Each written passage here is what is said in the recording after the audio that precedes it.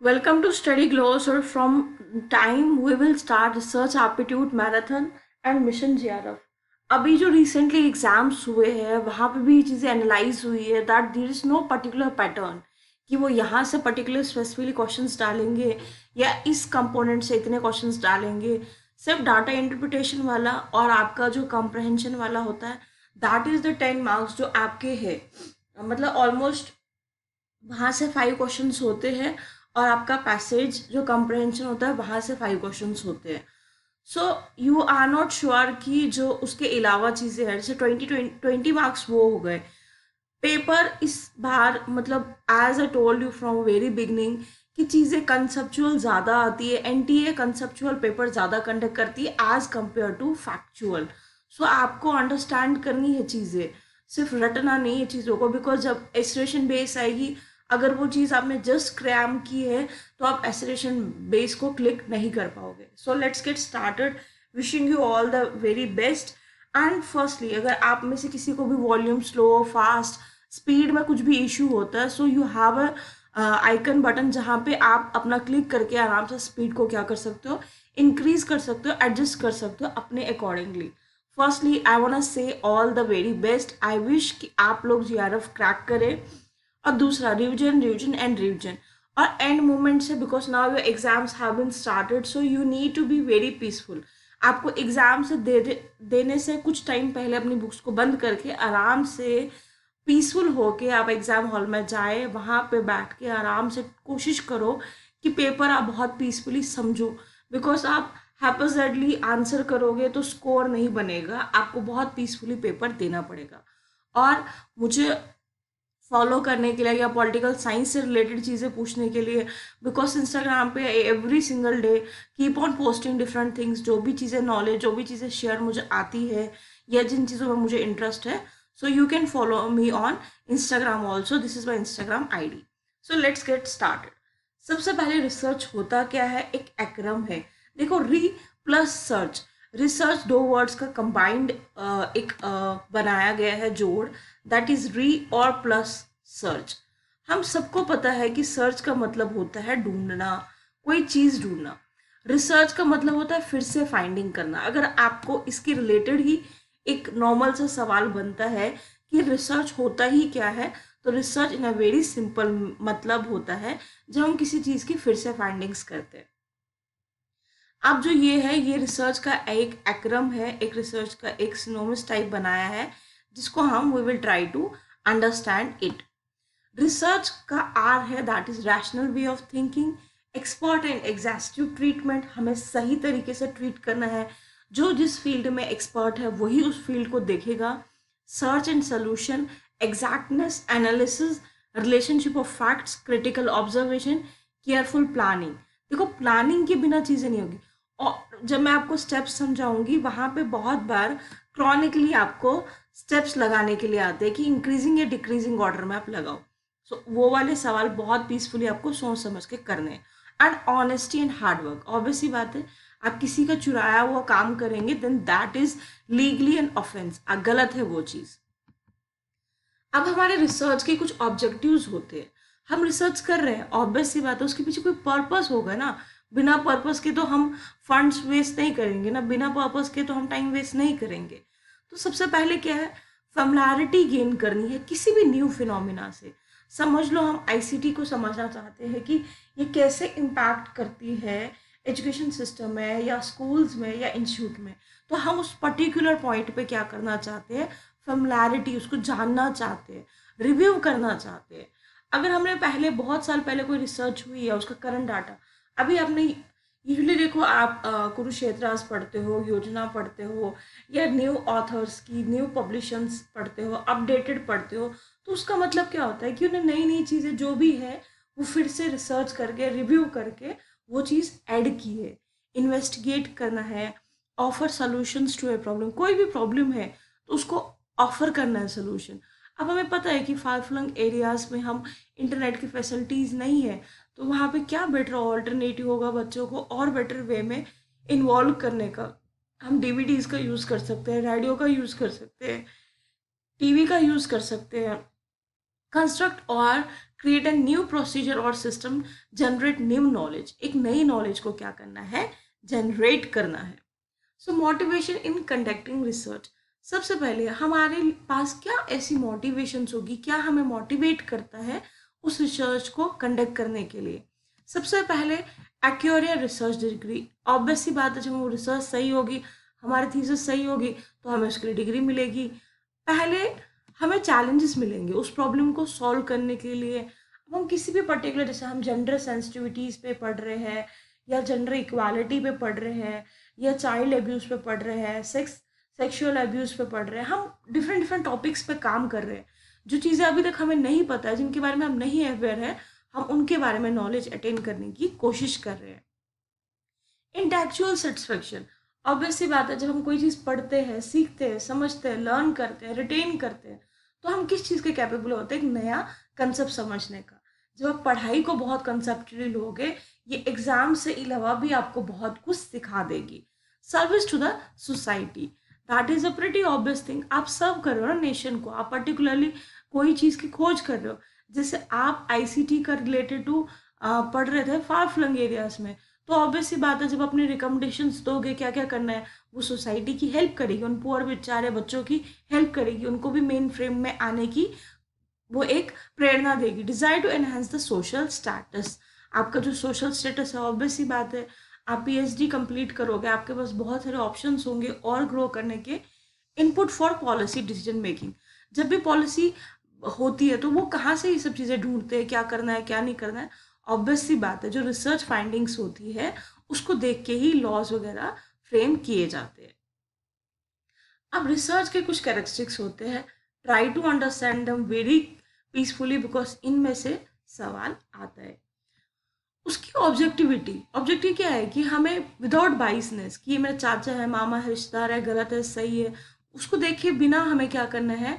उसके correct results देने हैं रियलेबिलिटी अगर मैंने टू प्लस टू एक बार फोर आया तो इट मीन्स वो टू प्लस टू फिर बाद में भी फोर ही आना चाहिए। अगर वो थ्री आ गया, वो गलत है। वैलिडिटी उसकी एक्यूरेसी जो मैं चाहती थी खोज करना, उसकी खोज हुई। Accuracy again related to validity credibility जो मैंने इंफॉर्मेशन यूज़ की है, वो सही है, अच्छी है, एकदम करेक्ट है। जनरेबिलिटी कि जो मैंने खोज निकाली। अब ऑब्वियसली बात है, एक स्टूडेंट के बेसिस पे आप एनालिसिस कंप्लीट नहीं करोगे ना, आप चाहते हो कि वो चीज़ जो भी आप फाइंडिंग्स कर रहे हो, वो ज़्यादा से ज़्यादा लोगों तक बेनिफिट पहुँच पाए। तो जर्नल हम चाहते हैं कि उसके अंदर जर्नबिलिटी हो और वो फेमलैरिटी ला पाए लार्जर पॉपुलेशन से। इम्प्रिकल हम हैबेजेडली कुछ बिना सोचे समझे नहीं करेंगे। हम चीज़ों को देखेंगे रिकॉर्ड करेंगे ऑब्ज़र्व करेंगे एक्सपीरियंस करेंगे रैशनली क्या करेंगे, उस पर एक्ट करेंगे। सिस्टमेटिक होगा। ऑब्वियस हम अपने काम को, अपने डिज़ाइन को डिफरेंट डिफरेंट पार्ट्स में डिवाइड करेंगे। डिवाइड करने के बाद फ़र्स्ट से सेकेंड स्टेप पे जाएँगे सेकेंड से थर्ड स्टेप पे जाएँगे और थर्ड से फोर्थ स्टेप पे जाएँगे। कंट्रोल्ड फैक्टर अभी जब भी हम एक रिसर्च करते हैं एक्सपेरिमेंटल रिसर्च करते हैं तो हम एक फैक्टर को कंट्रोल भी करते हैं। जैसे एक एग्ज़ाम्पल बताती हूँ।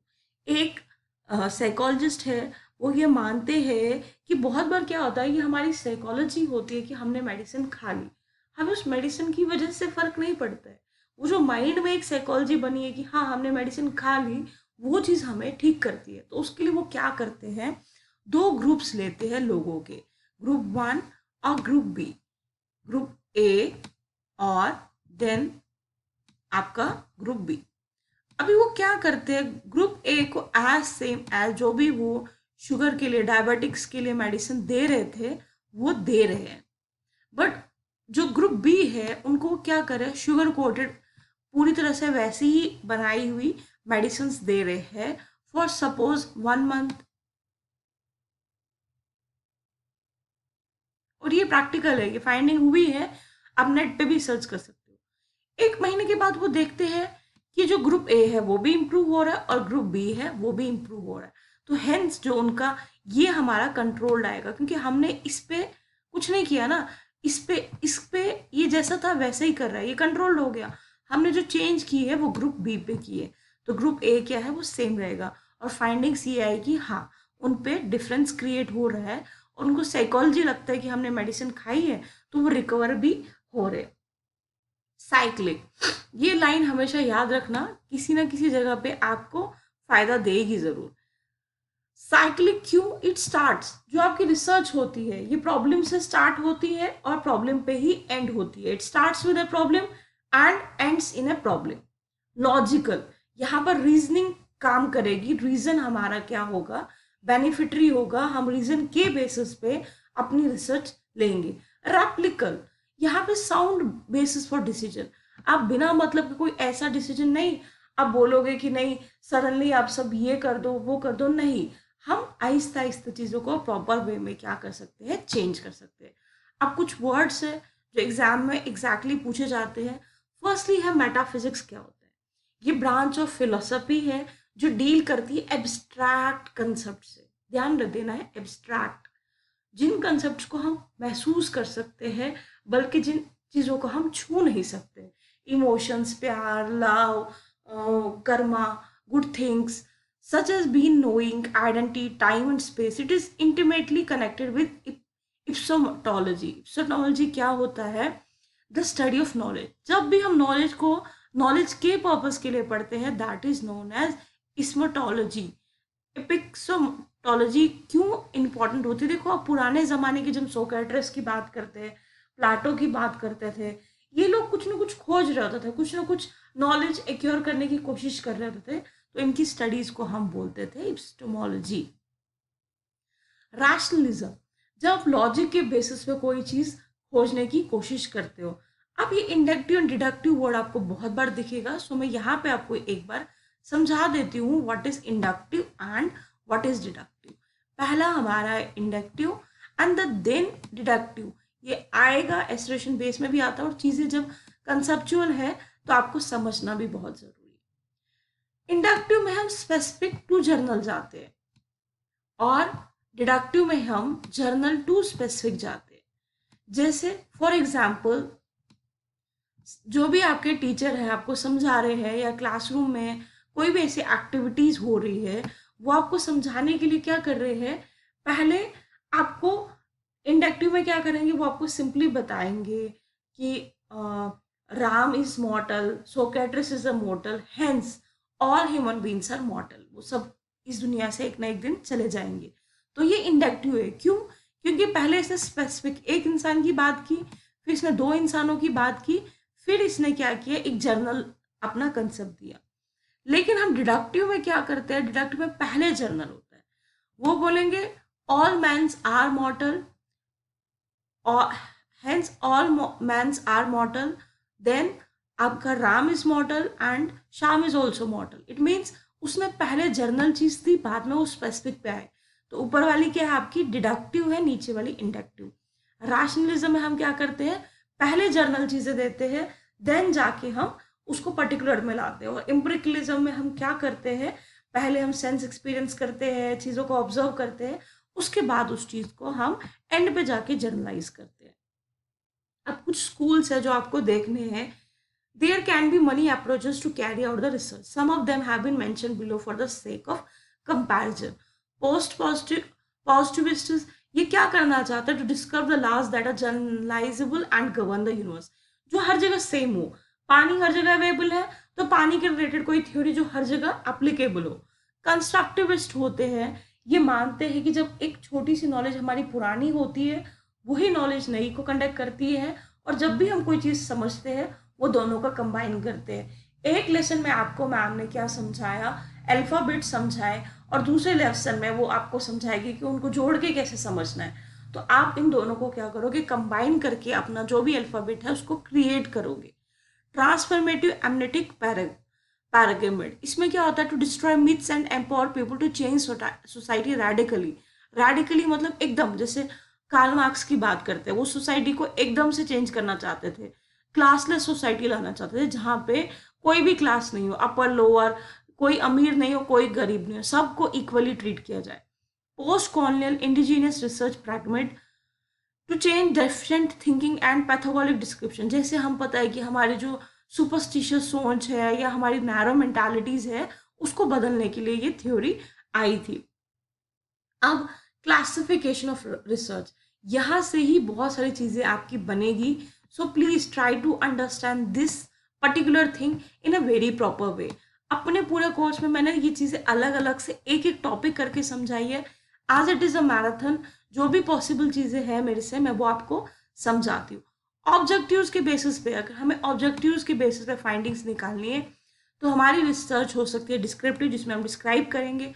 को रिलेशनल जहाँ पे हम दो चीज़ों में रिलेशन देखेंगे। जैसे स्मोकिंग करने से क्या होता है? लंग कैंसर होता है। तो हम रिलेशन चेक कर रहे हैं। एक्सप्लेनेटरी जहाँ पे हमें एक्सप्लेन करना है कि इस चीज़ का क्या इफ़ेक्ट हो रहा है। और एक्सप्लोरेटिव जहाँ पे हम नई चीज़ ढूंढना चाहते हैं, खोजना चाहते हैं। और एक्सपेरिमेंटल जहाँ पे हम क्या करेंगे? एक्सपेरिमेंटल आउट आउटकम के बेसिस पे क्या होता है? फंडामेंटल या अप्लाइड देखो फंडामेंटल अप्लाइड ध्यान से समझना। आगे फिर से फिर से समझाऊँगी। ये आपका बेसिक हो गया। एंड देन अप्लाइड वाला आपका क्या हो गया? जो हम उसको अप्लाई करते हैं। डिडक्टिव इंडक्टिव मैंने समझाया क्वालिटेटिव क्वांटिटेटिव होता है, जब आप मेजर करोगे। अच्छा एक क्लास में दस लड़के हैं और दस लड़की है। तो ये क्या है? क्वांटिटी है। मेजर कर रहे हैं ना? अब क्वालिटेटिव है। गुड स्टूडेंट्स और बैड स्टूडेंट्स उसको तो आप नंबर्स में मेजर नहीं करोगे ना। स्ट्रक्चर्ड एंड अनस्ट्रक्चर्ड स्ट्रक्चर्ड में जिसका एक पैटर्न होगा अनस्ट्रक्चर्ड में जिसका एक पैटर्न नहीं होगा। कंसेप्चुअल जब आप कंसेप्ट को क्लियर करना चाहते हो इम्प्रिकल जब आप रिसर्च कंडक्ट करते हो ऑन द बेसिस ऑफ़ कि हम कैसे एक्सपीरियंस करें। तो ये जो इंपॉर्टेंट है, जो बहुत बहुत बहुत बार पूछी जाती है so let me make you understand it descriptive research can be of two types cross sectional and longitudinal cross sectional होता है सपोज़ आपने एक स्कूल में पाँच ग्रुप्स ले लिए class fifth six seventh eight ninth tenth आपने थोड़े थोड़े स्टूडेंट्स लिए उनकी स्टडीज़ की तो काम खत्म। आपको फर्दर उसका कुछ नहीं करना है। आपने डिफरेंट डिफरेंट ग्रुप्स से डिफरेंट डिफरेंट स्टूडेंट्स लिए। लॉन्गिट्यूडनल में क्या होता है, हम एक ही पर्टिकुलर क्लास जैसे हमने सिर्फ़ टेंथ क्लास को ऑब्ज़र्व किया, हम उसको आज तीन महीने के बाद करेंगे, फिर दो महीने के बाद करेंगे, फिर कुछ हफ्तों के बाद करेंगे। हम एक ही जो एरिया है, एक ही सैंपल को बार बार स्टडी करेंगे, उस स्टडी को बोलते हैं लॉन्गिट्यूडनल अब classification of research on the basis of application apply कैसे होती है? सबसे पहले फंडामेंटल रिसर्च जो हमारी होती है, उसे हम प्योर रिसर्च कहते हैं। ये एडिशन करती है हमें नॉलेज में और अप्लाइड में हम सोल्यूशन देखो, अब हमने ये देख लिया कि आईसीटी की हेल्प से हम स्टूडेंट्स को और अच्छा पढ़ा सकते हैं। तो हम क्या करेंगे? नए नए आईसीटी के इंस्ट्रूमेंट्स कंप्यूटर्स या बाकी सब चीज़ें हम इंस्टॉल करने की कोशिश करेंगे फंड रेज करने की कोशिश करेंगे और बाद में हम कॉलेजेस वगैरह में इंस्टॉल करने की कोशिश करेंगे। तो जो हम ये सब चीज़ें कर रहे हैं तो ये हमने रिसर्च से सीखी। अब हम उसको अप्लाई कर रहे हैं रियल लाइफ में उसको यूज़ कर रहे हैं। डिस्कवरी और इन्वेंशन इनोवेशन और एप्लीकेशन यहाँ पे हम नया खोजेंगे और यहाँ पे हम उस चीज़ को यूज़ कैसे करना वो देखेंगे। ये मोस्टली एकेडमिक होता है practical use in making problem solve extensive nature intensive nature ये इंटेंसिव है और वो एक्सटर्नल है। अब classification of research on the basis of inquiry mode. मैंने आपको इंडक्टिव बताया, डिडक्टिव बताया। इंडक्टिव में हम क्या करते हैं, किसी एक स्पेसिफिक टू पर्टिकुलर जर्नल जाते हैं और यहाँ पे हम क्या करते हैं, यहाँ पे हम जर्नल टू स्पेसिफिक जाते हैं। अब मोस्ट इम्पॉर्टेंटली जो चीज़ें हमें समझनी है, एक डिफरेंस समझना है, हम उसको देखेंगे क्योंकि इस डिफरेंस के बेसिस पे भी आपके बहुत सारे सवाल आपको समझ आ जाएँगे। क्वालिटेटिव रिसर्च क्वांटिटेटिव रिसर्च सबसे पहले ऑब्वियसली क्वालिटेटिव में वो क्या करेगा? गुण मेजर करेगा। क्वांटिटी में वो माप सकता है। क्वालिटेटिव को हम माप नहीं सकते हैं। क्वांटिटेटिव को हम क्या कर सकते हैं? मेजर कर सकते हैं। इस अप्रोच को क्वालिटेटिव को हम कहते हैं बॉटम अप नीचे से ऊपर जाएगा। और आपका क्वांटिटेटिव में ऊपर से नीचे की तरफ़ जाएगा। ऑब्वियस ही बात है, अगर ये बॉटम अप है तो क्या होगा? Inductive reasoning method start from observation deductive reasoning यहाँ पे होगी। वर्बल डाटा इमेजेस और यहाँ पे हम डाटा कलेक्शन करेंगे। अब किसी के गुण को तो हम डाटा में नहीं माप सकते ना कि वो ये अच्छा ही करता है ह्यूमैनिटी है बट हम क्वांटिटी को माप सकते हैं कि उसके इतने मार्क्स है और उसके इतने मार्क्स नहीं है। क्वालिटेटिव हॉलिस्टिक है बिकॉज़ हम एक ही में सब चीज़ें लाते हैं, लेकिन हम क्वांटिटेटिव में डिफरेंट डिफरेंट कर सैंपल यूज़ कर सकते हैं। अब देखो सैंपल क्या होता है? ये वर्ड मैंने एक दो बार बोला, अब मैं सैंपल समझाती हूँ क्या होता है। सपोज़ दस हज़ार या बीस हज़ार पॉपुलेशन है किसी एक पर्टिकुलर एरिया की, हमें उन पर स्टडी करनी है कि एनवायरमेंटल चेंजेस में से उन पर क्या इफ़ेक्ट पड़ रहा है। तो हम बीस हज़ार के बीस हज़ार लोगों को नहीं जाके सर्व कर सकते हैं, उनको ऑब्ज़र्व कर सकते हैं, उनको सर्वे कर सकते हैं। तो व्हाट विल वी डू हम हर एक थोड़ा थोड़ा मोहल्ले से दस लोग, बीस लोग ऐसे ऐसे करके हम बीस हज़ार में से सौ या पचास लोग चुनेंगे। तो जो हम ये बहुत छोटा पोर्शन चुनेंगे, इसको हम सैंपल कहेंगे तो ये याद रखना है, इसको हम क्या बोलेंगे? सैंपल कहते हैं। Let's discuss some important biases अब बाइसेस है, आप किसी चीज़ को लेके क्या हो? बाइस्ड हो। आप उसकी मतलब सही नहीं हो। पहले एक्सटर्नल बाइसेस आप चाहते हो कि, अरे मीडिया में मेरी खोज सच्ची निकली तो मुझ पर इम्पैक्ट आएगा? पर्सनल बाइस आप इतने, क्या हो चाहते हो पर्सनल बेनिफिट्स हो? आपको पर्टिकुलर कोई ऑर्गेनाइजेशन बोलती है कि, हमारे लिए अच्छा अच्छा लिखो तो आप उसको देख के बाइस हो जाते हो। ऑब्ज़र्व बाइस आप कभी क्या करते हो? किसी कल्चर के साथ खुद जुड़े हो। आपको ट्राइबल लोगों से ज़्यादा खुद पसंद है। आपको नेचर खुद ज़्यादा पसंद है। तो आप क्या करोगे? उसके लिए आप क्या करोगे? एक बाईस सी प्रेजेंटेशन दे दोगे। एक्सेप्टेंसी बाईस आप क्या चाहते हो उसका आउटकम आप चाहते हो कि ये मेरी हाइपोथेसिस करेक्ट प्रूव हो तो आप उसको करेक्ट प्रूव करने के लिए कुछ भी आल्टर कर दोगे। बट आप जब ये नहीं सोच रहे हो कि मैं सही साबित हो रही हूँ या गलत, तब आप बाइस नहीं हो। पहली से वो बाईसनेस पूछी जाती है तो ये क्या है? It operates when people strongly want to believe a treatment in successful कि वो जैसे शुगर पिल का मैंने बताया था कि वो टोटली चाहते ही चाहते हैं कि जो मैं शुगर पिल पे एक्सपेरिमेंट करना चाहती हूँ, वो पूरी तरह से क्या हो? हंड्रेड परसेंट सही हो। Features of action research action research क्या होती है? कि इमिडिएट होती है। ये एकदम से ली जाती है बिकॉज़ यहाँ पे प्री प्लान चीज़ें नहीं होती और रियलिटी में ये उसी टाइम ये सेल्फ इवेटिव होती है कोल लर्निंग्स होती है गोल ऑफ़ सोशल साइंसेस होते हैं। Action research is a process कैसे प्रोसेस है? समझाती हूँ। हमने कोई चीज़ प्लान किया एक्ट किया ऑब्ज़र्व किया रिफ्लेक्ट किया। यहाँ पे ये चीज़ खत्म हुई, फिर से रिवाइज प्लान होगा, फिर से रिफ्लेक्ट होगा, फिर से एक्ट होगा, फिर से ऑब्ज़र्व होगा and then if required thought मतलब एक्शन रिसर्च क्या होती है? Plan act observe reflect revise plan act observe reflect ये एक साइक्लिक फॉर्म में ये जब तक आपका सोल्यूशन नहीं फाइंड होगा, ये अगर तीसरी बार भी चाहे उस चीज़ के लिए एक्शन लेना तो ये एक्शन लेगी। तो इसीलिए इसको क्या बोला जाता है? एक्शन रिसर्च अब स्कोप क्या है? रिसर्च अगर हम पढ़ रहे हैं एजुकेशन में तो वो क्यों पढ़ रहे हैं? सबसे पहले करिकुलम फ्रेमिंग में हेल्प करता है। जैसे अब ऑब्वियस ही बात है, जब भी हमें नई नई चीज़ें, अभी आपने देखा होगा कि जितनी ग्रेजुएट कोर्स है जितनी B Ed M Ed course है जितनी मास्टर्स कोर्सेज है, या पी एच डी कोर्सेज है इंटीग्रेटेड है वो। इंटीग्रेटेड का मतलब है, अब वो चेंज हो रहा है। अब सिर्फ़ साइंस का स्टूडेंट साइंस तक ही कन्फाइंड नहीं है। हिस्ट्री पढ़ रहा है तो हिस्ट्री के साथ साथ भी वो एक दो कंपोनेंट्स पढ़ सकता है एक्स्ट्रा सब्जेक्ट पढ़ सकता है। साइंस का स्टूडेंट अगर चाहे सोशल साइंस पढ़ना, वो भी एक एक्स्ट्रा सब्जेक्ट ले सकता है। तो हम चीज़ें चेंज कर रहे हैं ना तो एक्शन और रिसर्च किसमें हेल्प करेगी? हमें एजुकेशन में स्टाफ डेवलपमेंट में। हम बार बार देखेंगे, उनको वो डर होना चाहिए कि भाई छः महीने के बाद हमें चेक किया जाएगा। मैनेजमेंट एडमिनिस्ट्रेशन में। बिहेवियरल चेंजेस हम किसी का attitude values staff motivation change कर सकते हैं सेल्फ अब जो हमारा मोस्ट मोस्ट मोस्ट इंपॉर्टेंट है that is steps of research इसको बहुत ध्यान से समझना, क्योंकि मैंने पूरा एक जो समरी है वो यहाँ पे पॉइंट आउट की है तो उसके हिसाब से मैं आपको बताऊँगी कि कैसे ये चीज़ें हैं। स्टेप्स ऑफ़ रिसर्च सबसे पहला क्या स्टेप है? ये क्रॉनिकल ऑर्डर में ही लगाने के लिए आ जाएगा। आपको चार या तीन ऑप्शन होंगे तो पहला क्या हो सकता है? दूसरा क्या हो सकता है? तीसरा क्या हो सकता है? चौथा क्या हो सकता है? ये वहाँ पे आपको सवाल समझना है। एज आई टोल्ड यू आपके सवाल में ही कभी भी कभी बहुत बार जवाब होते हैं। तो आपको सवाल को पहले, सबसे पहले बहुत अच्छे से समझना है, देखना है ऑब्ज़र्व करना है, उसके बाद आंसर लगाना है। सबसे पहले क्या करते हैं हम? फॉर्मुलेशन ऑफ़ रिसर्च प्रॉब्लम करते हैं। और रिसर्च प्रॉब्लम में भी हम क्या देखते हैं? लिटरेचर रिव्यू क्या इसके बारे में किसी ने कभी लिखा था? फॉर्मुलेशन ऑफ़ ऑब्जेक्टिव ये ये चीज़ें मुझे आइडेंटिफाई करनी है। Identify research variable and measure skills formulating hypothesis उसी टाइम हम क्या करेंगे? हाइपोथेसिस भी फॉर्मुलेट करेंगे। रिसर्च डिज़ाइन, उसका डिज़ाइन कैसे होगा? कितनी पॉपुलेशन है? कैसे एक्सपेरिमेंट्स करना है? डेवलपिंग डाटा क्या मुझे डाटा खुद जाके ऑब्ज़र्व करना है? या तो मैं सेकेंडरी डाटा यूज़ कर सकती हूँ? क्या मैं लिटरेचर पुराना उससे चीज़ों को ऑब्ज़र्व कर सकती हूँ? अब मुझे सैंपल सेलेक्ट करना है। प्रोबेबिलिटी होती है जहाँ पे हर कोई चांस है किसी का आने का।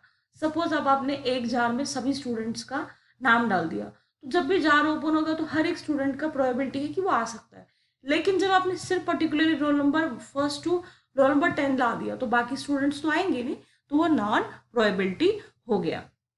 राइटिंग ए रिसर्च प्रपोजल अब अपना प्रपोजल लिखोगे कि क्या नीड थी इसकी, क्या बेनिफिट्स था टाइप्स क्या थे डाटा के। Then collecting data observation interviews questionnaire schedules ये पूरी तरह से आप देखोगे ऑब्ज़र्व करोगे कि देखो, अब आपने किसी को बोला कि ओके मैंने ऑब्जर्वेशंस करनी है, या इंटरव्यूज़ कंडक्ट करना है, या क्वेश्चनर मेथड यूज़ करना है। तो आपने वो कलेक्ट तो भी करना है ना? जैसे आपने अपने जो सैंपल के क्वेश्चंस वगैरह थे, वो बीस लोगों को दिए। उनकी बाद में स्केल अपना मेजर करना है कि अच्छा इसका आंसर ये था, इसका आंसर ये था। उन चीज़ों को एनालाइज भी करना है। प्रोसेसिंग एंड एनालाइजिंग डाटा यहाँ पे अपने डाटा को एनालाइज करोगे कि क्या मेरी हाइपोथेसिस जो मैंने अभी तक सोचा था, अनुमान लगाया था, वो सही प्रूव हुआ कि नहीं। At the end writing a report के पॉइंट्स भी आते हैं कि इनको प्रॉपर क्रॉनिकल ऑर्डर में लगाओ। सबसे पहले टाइटल पे जिस भी बारे में वो है टेबल ऑफ़ कॉन्टेंट्स क्या क्या चीज़ें आपने उसमें समझाई है चैप्टर्स कौन कौन से है उसमें, और बिब्लोग्राफी किसी को भी आपने रेफरेंस वगैरह लिए देन एपिडिक्स अब फदर कहाँ से अगर कोई वो पढ़ना चाहे फदर तो वो क्या आगे रिसोर्स यूज़ कर सकता है। Relationship between independent and extraneous variable अब देखो, यहाँ पे जो आपका कोर रिलेटिंग है या काजुअल रिलेशन है, जो काज रिलेशनशिप है, आप स्मोक कर रहे हो, उससे आपके हार्ट डिज़ीज़ में भी प्रॉब्लम हो रही है। और इससे आपका रिलेशनशिप और भी क्या आ रहा है? एज उस पर्सन की क्या है? और उसका एक्सटेंट ऑफ़ डेली एक्सरसाइज कितना है? तो ये एक्स्ट्रा अवेयरनेस वेरिएबल है, जो इन दोनों के बीच में एक पिलर बनती है और यहाँ पे भी इफ़ेक्ट करती है। तो इस पर्टिकुलर चीज़ को एक बार समझ लेना है, इस चार्ट को। अब हमें फॉर्मुलेट करना है हाइपोथेसिस टीनेटिव प्रपोजिशन लेनी है वैलिडिटी क्या वो वैलिड है कि नहीं? उसके बाद most causing formulating hypothesis the logical relation between two variables दो वेरिएबल्स के बीच में हमें रिलेशनशिप देखना है। क्या बहुत अच्छा वेदर कंडीशंस की वजह से लोग ज़्यादा वर्क करते हैं? या बहुत अच्छी कंडीशंस की वजह से लोग लेजी बन जाते हैं? तो दो वेरिएबल्स के बीच में क्या रिलेशनशिप है? It should be simple obvious सी बात है, ऐसा है तो लोगे जो किसी को समझ ही नहीं आएगा तो वो क्या करेगा? क्लैरिटी होनी चाहिए मोर ऑब्जेक्टिव होना चाहिए, और जो भी हमने थ्योरी बनाई है, उसको कोरिलेट करना चाहिए। ये नहीं कि आप पढ़ रहे हो, समझ रहे हो आईसीटी के बारे में, और आप हाइपोथेसिस बना रहे हो कुकिंग के बारे में तो वो कहीं पे भी कोरिलेट नहीं करेगी। डिस्क्रिप्टिव होती है रिलेशनल होती है एक्सप्लेनेटरी हाइपोथेसिस होती है। अब ये दो टर्म्स है जो एग्ज़ाम में हो सकता आए, कुछ इंपॉर्टेंट टर्म्स है रिसर्च की, आप एक बार इसको भी देख सकते हो। इंटरप्रेटिव प्रैग्डमिड और वेस्टहिन इंटरप्रेटिव में क्या है? Usually associated with qualitative research strategies जब आप क्वालिटेटिव आपने किसी की इंप्रूवमेंट देखनी है, आपने किसी का मोटिवेशन चेक करना है तो वो इंटरप्रेटिव में आएगी। वर्स्ट हैंड क्या होती है? जब आप work of German social Max Weber in social science such as anthropology sociology interpretive process in which an outsider observe a culture atom अब आप उस कल्चर के नहीं हो, आप उस ट्राइब के नहीं हो, लेकिन आप जाके वहाँ पर चीज़ें समझते हो ऑब्ज़र्व करते हो तो आप इसके अंडर आओगे। एक्सपोज टू बहुत बार पूछा जाता है, इसलिए मैंने अलग से दिए हैं, जो एंड पे, जो आपकी रिसर्च के एंड पे जब आपने आउटकम्स निकालने, जैसे हम पोस्टमार्टम करने, करते हैं तो एंड है ना, वो बंदा तो बेचारा खुद मर चुका है, बाद में हम अनुमान लगाएँगे कि ऐसा हुआ था और वैसा हुआ था। क्लासिफिकेशन ऑफ़ रिसर्च पहले भी हमने देखा फंडामेंटल रिसर्च अप्लाइड रिसर्च ये एडिशन करेगा, ये सोल्यूशन देगा। ये डिस्कवरी देगा, ये इनोवेशन देगा। ये अकेडमिक है, ये प्रैक्टिकल यूजिंग में सॉल्व एक्सटेंसिव है एंड इंटेंसिव इन नेचर अब एक टर्म है, छोटी सी दैट इज़ ट्राइगुलेशन ये क्या है? There multiple relative in social research it is again solving research problem in multiple ways एक ही प्रॉब्लम है। हम उसका डिफरेंट डिफरेंट सोल्यूशन फाइंड करने की कोशिश करेंगे ताकि, बहुत बार ऐसा होता है कि कुछ चीज़ें हम कोविड नाइन्टीन था तो हम सबने हर तरह की, जो हमारे रिसर्चर्स थे डॉक्टर्स थे साइंटिस्ट थे, हर किसी ने कोशिश की कि हम इसका एक अच्छा सोल्यूशन ढूंढ पाए। तो हम उसको क्या बोलेंगे? टाइगुलेशन बोलेंगे। अब हमारे पास इंडिपेंडेंट वेरिएबल है एंड डिपेंडेंट वेरिएबल है। इंडिपेंडेंट वेरिएबल वो कि जिसका, उसको चेंज करो या ना करो बट वो वैसे का वैसा रहेगा, उसको, उसमें कोई अल्टरनेशंस नहीं आएगी। और इंडिपेंडेंट वेरिएबल पे कौन डिपेंड है? डिपेंडेंट वेरिएबल कैसे? यहाँ पे they become they become the cause of another variable. It is variable manipulated by researcher in an experiment को हम क्या करते हैं? चेंज करते हैं एक्सपेरिमेंट करते हैं। डिपेंडर क्या है? आउटकम होगा किसी भी रिस्पॉन्स का। For example in the study about impact of coaching on students performance. Coaching is independent variable and students performance is, क्या है? डिपेंडेंट वेरिएबल अब ये इंडिपेंडेंट ना? कोचिंग तो वैसे भी हो रही है ना? तो कोचिंग इंडिपेंडेंट है। इसका इफ़ेक्ट क्या स्टूडेंट्स पे पड़ रहा है? कैसे वो इम्प्रूव कर रहे हैं? क्या वो इम्प्रूव नहीं कर रहे हैं? वो हमारा क्या होगा? डिपेंडेंट वेरिएबल होगा। अब यहाँ पे इंटरविंग वेरिएबल है और ये बहुत बार पूछा जाता है So you need to understand it in a very better way.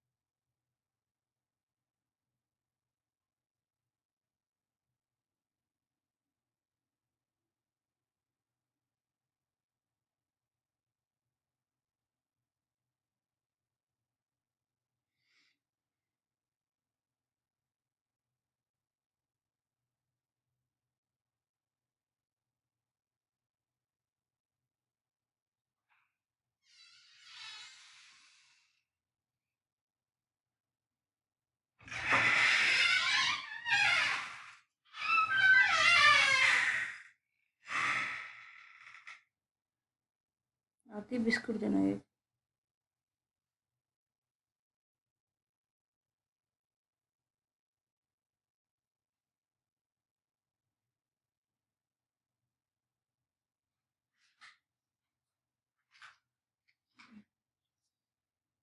ये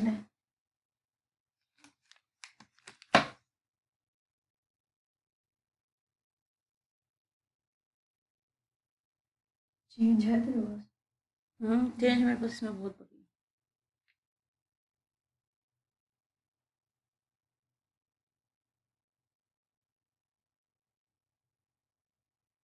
हलवाई की दुकान से लेके आती हूँ। मेरा फास्ट है बार बार क्या जाना है। अच्छा तेरा फास्ट एक बार दस खाऊँगी फिर जाऊँगी फिर से।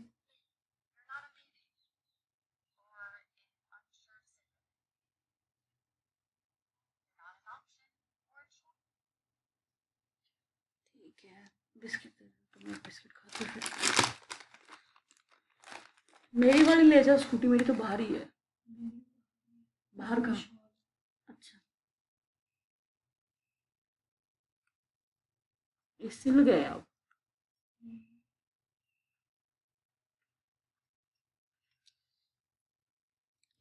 दूध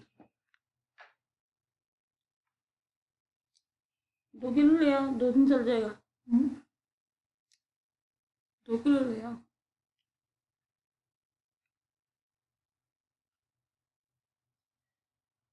मेरे ग्लव्स पहन ले।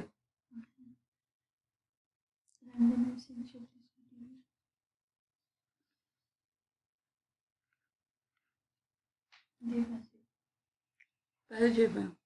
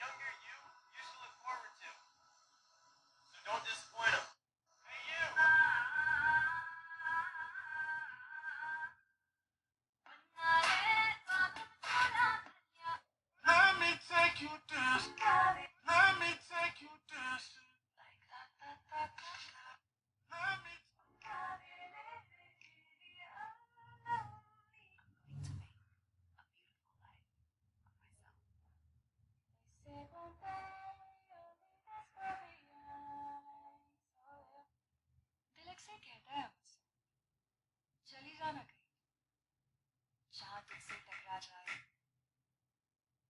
दिलक से कहता है मुझसे चली जाना